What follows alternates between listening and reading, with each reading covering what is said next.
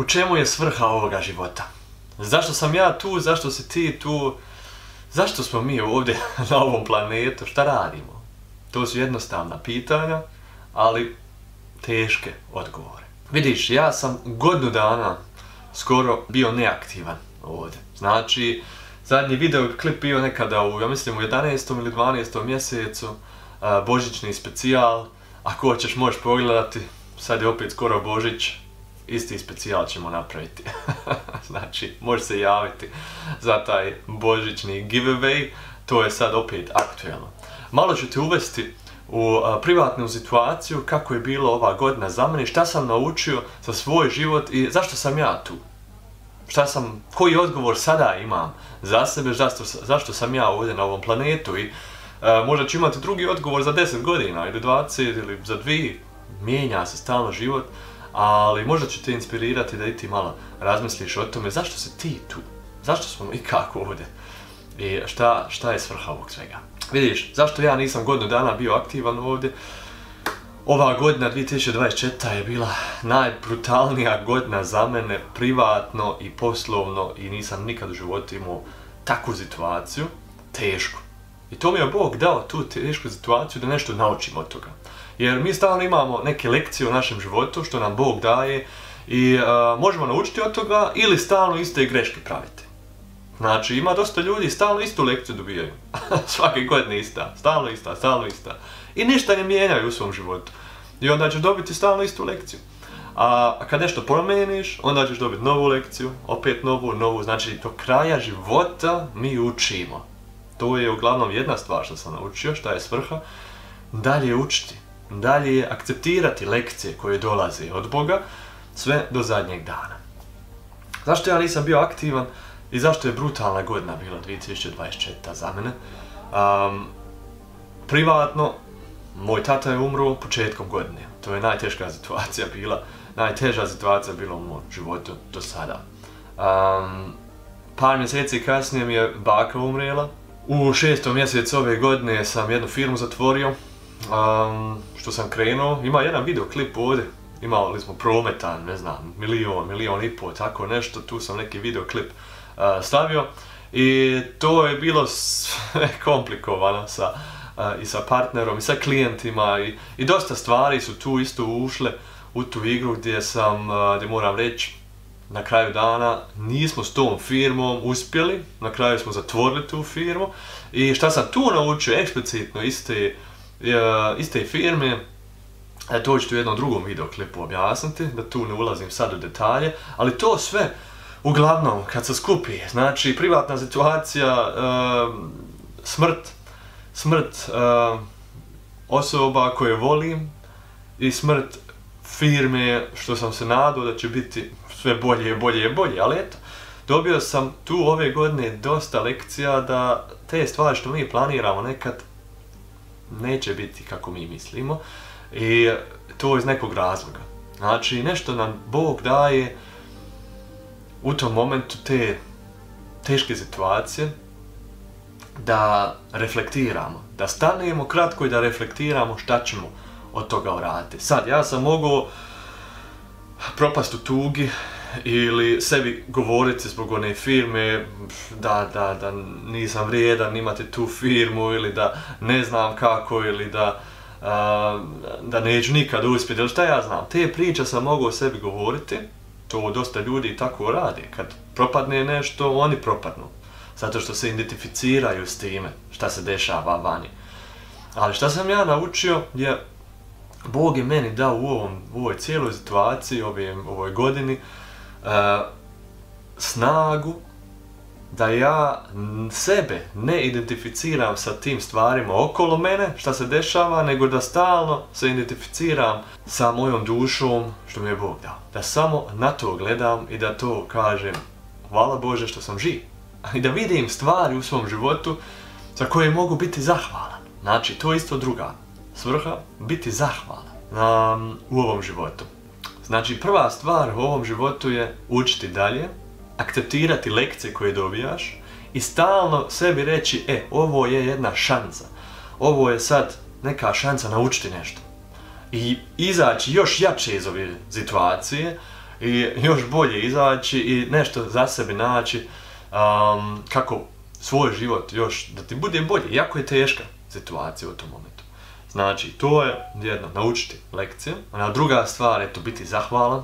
Zahvalan, svaki dan biti zahvalan. To je jedna stvar što, sam, što me pomoglo u ovoj situaciji proći e, kroz te sve teške momente i trenutke ove, ove godine. Zapisati svaki dan tri stvari. To je bila jedna velika, velika e, pomoć. Zapisati tri stvari svaki dan za koje si ti zahvalan. To možeš ujutro odmah čim se probudiš, napiši na papir bijeli, ima svaki papir, ima svaku olovku kod kuće. Sebi zapiši jednostavno ja sam zahvalan za da mogu disati, da mogu gledati, da imam oči, da sam zdrav, da mogu hodati, da imam obitelj, da su mi roditelji živi, da su mi braća živa, sestre, da imaš posao, da imaš tijelo, da imaš toliko stvari za koje možeš biti zahvalan, da, da se mogu ikako u krevetu spavati. Ja, ja sam prije 11 godina bio u Haiti, to je, bož sačuvaj bilo, ja, ljudi na cesti žive, nemaju jela, djeca nemaju roditelja, ništa. Zato imaš toliko stvari za koje možeš ti biti zahvalan, svaki dan. I to samo sebi zapiši, to je meni isto pomoglo u toj situaciji. E, šta je sad treće svrha ovoga života? Znaš šta sam ja naučio u ovoj cijeloj situaciji teškoj i sa tatom, sa bakom, sa eto, ljudima što umiru, eto, dosta ljudi, drugi prijatelji, uh, stariji ovako što, što i poznajem, umiru. I ima dosta razloga zašto umiru, ja u to ćemo možda nekim drugom videoklipu ulaziti, tema zdravlje, tako dalje, ali um, šta sam naučio, život prolazi brzo. Život jednostavno prolazi brzo, mene sad 36, kad sam ovaj kanal krenuo, skoro 10 godina, 2015. kad sam ovaj kanal krenuo, uh, 9 godina ovako prođe se za čas, ja? I sljedeći 9 godina će opet proći za čas. Znači ovaj život, mi smo tako brzo ćemo biti 40, 50, 60, 70 i onda gledamo na kraj. I onda je pitanje kako se živi ovaj život. I ta svrha moga života što sam ja vidio u ovoj godini je gdje se osjećam i dobro i gdje mi Bog sve više i više vodi na taj put, je pomoći ljudima, što više pomoći ljudima sa savjetom, što mogu ja dati. Ja, dosta sam naučio i sa ovom firmom ovdje u Njemačkoj, sa mojim online marketingom, sa svim tim stvarima ovih zadnjih 10-15 godina i na taj način mogu dosta ljudima pomoći da izađu iz neke možda financijske situacije gdje im je loše da uđu u malo bolju situaciju. Ili gdje im je loše recimo sad, zdravstveno, gdje nisi dobar, da, da izađeš u bolju situaciju zdravstveno i da imaš bolje zdravlje. To sam dosta mogu naučiti i zahvalan sam stvarno da sam toliko naučio ovim godinama i to ću sve podijeliti s tobom. I, to do zadnjeg dana, jer ovaj kanal stalno sam bio aktivan, pa neaktivan, opet aktivan, pa tako dalje. Uglavnom, ne samo ja, nego hoću tebi dati u ruke ili inspiraciju da i ti malo razmisliš gdje možeš ti pomoći ljudima. Na kraju dana neće vrijediti koliko imaš na kontu, nego koliko ljudima si pomogao u svom životu. Koliko si mogu pomoći, koliko si mogu ljudima dati inspiraciju, konkretnu pomoć i uzeti ih za ruke i podignuti. Ja? I to je to. Da bi to svak radio na ovom svijetu, pomoć ljudima, onda ćemo doći u jednu situaciju gdje će biti mirniji svijet i bolji svijet, ja? Sigurno. I biti onaj tu hrabar i, i, i jednostavno to raditi što ti misliš, ja? Što, što misliš, što imaš taj osjećaj u sebi. I vidiš, na tom svemu, u toj, u toj cijeloj situaciji, navigacija bila Bog. Moj. Moja navigacija je tu bila Bog i, i, i, i sveti duh. I svaki ima svetog duha u sebi. I svaki se može još bolje povezati s Bogom. I to ti hoću isto dati u ruke. Svrha tog ovog života je ne samo doći na svijet, raditi, pomoći, umrijeti, nego probaj se povezati s Bogom i vidjet ćeš kako će svoj i tvoj život biti sve bolji i bolji. Jer ovo je kratko vrijeme gdje smo mi ovdje na ovom svijetu, ali poslije toga ima jedno vječno vrijeme? I to, to je još puno, puno duže nego ovo što smo mi sad ovdje ovo malo. 70-80 godina. I obogati se, obogati se za to vrijeme kasnije.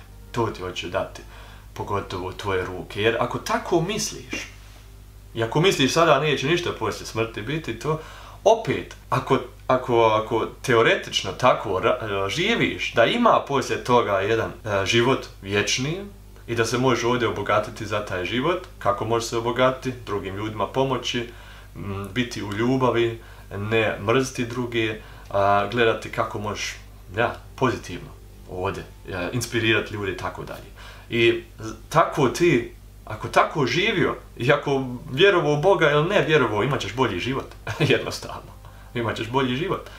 I to ti hoću dati um, tu informaciju šta sam ja eto za sebe naučio i to hoću ulaziti sve više i više u to. Ok, to je to, dragi moji ljudi, ako imate ikakvih pitanja da vam mogu pomoći u vezi financija, biznes, kako krenuti biznes, tako dalje, slobodno komentiraj dole i bit ćemo ovdje sada aktivni na kanalu. Ajde, čujemo se, vidimo se i čao!